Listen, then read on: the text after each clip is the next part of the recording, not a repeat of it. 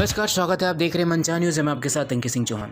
बता दूँ कि पहले टी ट्वेंटी मैच में रविंद्र जडेजा के कनकसन चोट के बाद, जब युजवेंद्र चहल को टीम मैदान में लाया गया तो उन्हें सिर्फ़ मात्र पंद्रह मिनट ही पहले मालूम चला था कि वो भारत और ऑस्ट्रेलिया के बीच पहले टी ट्वेंटी आइए हम आपको बताते हैं कि चहल ने क्या ऐसी कहानियाँ बताई है।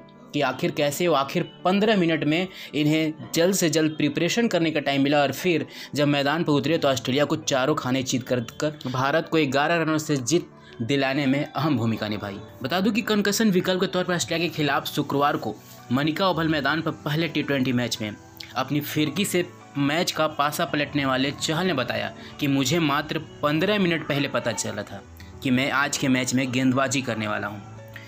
रविंद्र जडेजा को मैच की पहली पारी के आखिरी ओवर में हेलमेट पर गेंद लगी थी और इसी कारण से चहल को कनकशन खिलाड़ी के तौर पर खेलने का मौका मिला।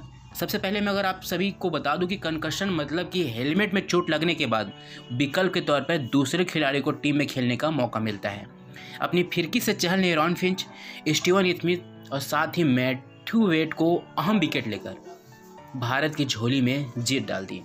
तीन विकेट लेने के बाद चहल को मैन ऑफ़ द मैच चुना गया। चहल ने प्रेस कॉन्फ्रेंस में कहा कि मुझे पता भी नहीं था कि मुझे इस मैच में खेलने का मौका मिलेगा। लेकिन पंद्रह मिनट पहले ही जैसे भारत की आखिरी ओवर, यानी कि बीसवें ओवर में भारत की बल्लेबाजी चल रही थी, तभी मुझे पता चला कि मैं इस मैच में गेंदबाजी करूँगा। और शानदार एहसास मेरे ऊपर किसी का दबाव नहीं था। जब हमारी बल्लेबाजी चल रही थी तो मुझे मात्र पंद्रह मिनट पता चला और फिर मैं तैयार होकर मैदान में गया और मैंने अपना बेहतरीन प्रदर्शन करते हुए भारत को जीत दिलाई। चहल ने कहा कि पहली पारी में उनके स्पिनरों पर रन बनाना आसान नहीं था।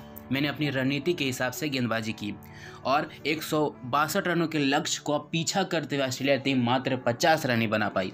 ऐसे में चहल ने कहा कि हमारे टीम के ऊपर दबाव था, लेकिन मैंने अपने आप पर भरोसा रखा और मुझे जिस तरह से विराट कोहली ने मुझे भरोसा जताते हुए टीम मैदान में उतारा था, मैंने उनके भरोसे पर खरा उतर कर टीम को ग्यारह रनों से अहम जीत दिलाई।